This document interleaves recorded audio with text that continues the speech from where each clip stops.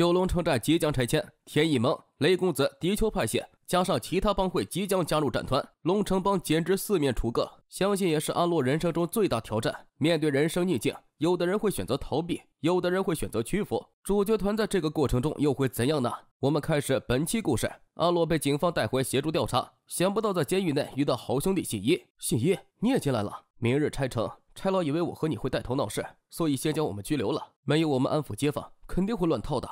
这麻烦真的是排山倒海，一波未平，一波又起。吉祥和 Happy 仔踩进元朗栽了，我低估这个逆鳞了。这家伙原来这么厉害。他们两个有没有事？Happy 仔伤了膝盖，吉祥右手骨裂，伤的不算严重。打架总有输赢，最要紧是人没事。别想那么多了，再难我都撑过，这次一样也没问题。二人聊天之间，黄 Sir 走了过来。怎么？听伙计说你想见我呀？是冷气太大，还是想喝我的功夫茶呀？黄 Sir，我知道之前过分了，希望你大人有大量，别放在心上。我还以为你们九龙仔天不怕地不怕，如果你懂事，又怎么在这儿见我？那天是我不对，黄 Sir 可不可以帮忙放了我们？马上拆城了，那帮街坊说过要抗争到底，我不想他们有事，你让我们出去安抚他们，好不好？你当我白痴啊？都知道整个城寨你们画师了，一个是土生土长的原住民，一个是街坊福利会主席，你们两个出去了，他们又怎么会无动于衷？没有你们两个指挥，他们想作恶都做不出。你们古惑仔没一句真话，放你出去，肯定世界大乱。不放我们出去，明天真的会球大了。你不想伙计们有事，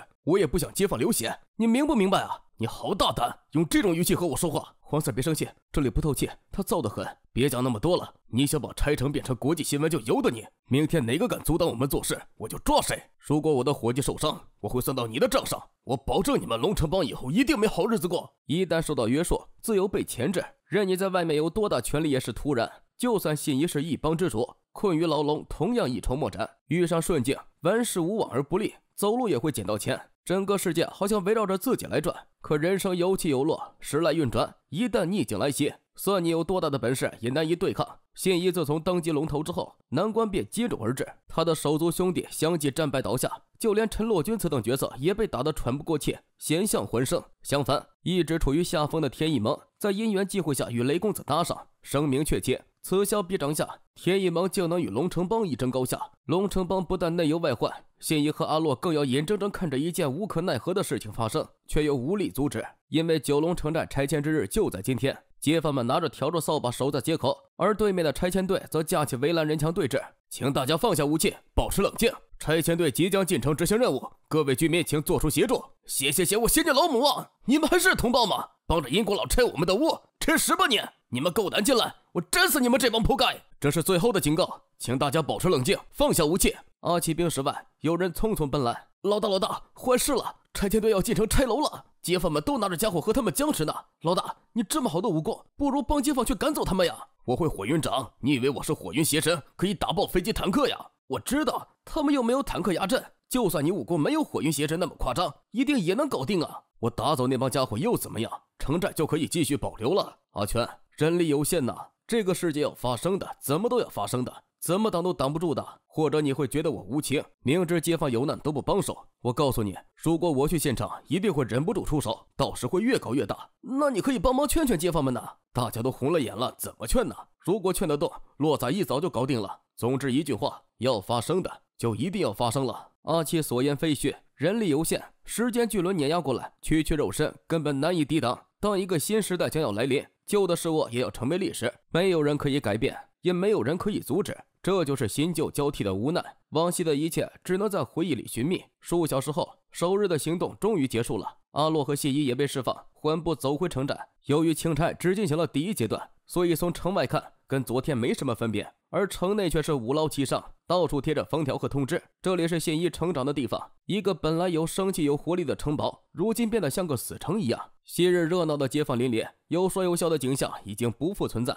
九龙城寨清拆计划首日展开，清拆过程中，警方遭受居民激烈冲撞，三名警员被伤，情况一度混乱失控。警方一共将三十多名滋事居民带回警署，没想到搞这么大，街坊们今天好像失去理性了，好像连命都不要了似的。话说全身淋满汽油，反锁屋内，说要玉石俱焚，好在最后劝下来了。这要分三期拆，还没正式拆楼，都已经搞成这样了，之后不知会怎么样。第一天。街坊们接受不了事实，等到大家慢慢接受之后，就不会像今天这样激进了。几十个人进去了，兰兰，你等下拿钱保释，一定要把他们搞出来。你和阿鬼请律师，钱不要顾忌，总之就是不可以让他们有事。知道了，这些你不用担心，还是做好你的事了。阿鬼有没有和你讲，昨晚龙城有人扫场啊？知不知道是什么人做的？好像是长乐的人呢。信一记得当日在元朗，长乐有份弹劾自己。这时阿洛电话响了，陈洛军，今天你们街坊真是出风头啊，上了电视，明天肯定还要上头条了。我和你说过，你不放我出去，一定会乱套。今天搞成这样，你责无旁贷。靓仔自己昨晚想赖给我，我告诉你。今天的事情，一哥很生气，说以后要顶住龙城帮打。你真是蛮不讲理啊！你搞成一锅粥，还要盯死我们？黄四讲下道理嘛。今天的事情大家都不想发生。一旁默默抽烟的信一突然站起身，抢来阿洛的电话：“打呀打呀！我这个龙头等着你们这帮乌龟！破你个盖！我叫你打呀！”一向冷静的信一，经过连日的压抑，愤怒的情绪到了临界，已经到了忍无可忍的地步。就连阿洛也不曾见过信一如此暴躁失控，对方立刻挂断。